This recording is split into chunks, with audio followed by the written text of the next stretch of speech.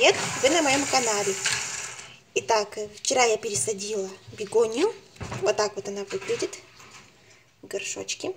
Корни у нее хорошие. Думаю, будет расти хорошо. Также пересадила отростки белопероны и пахистатиса. У этого листики, которые были такие немножко скрученные, я их убрала. Думаю, новые пустят. Так как корни у них хорошие, корешки есть как бы образовались хорошие.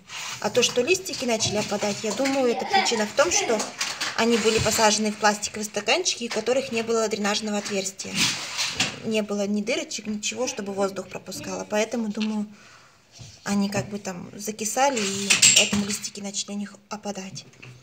Ну, теперь как будут расти, посмотрим. Дальше сниму видео, буду следить за ними.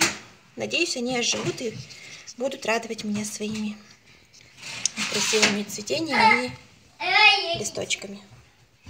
Всем, кому нравится видео, ставьте лайк, подписывайтесь на канал. Всем пока!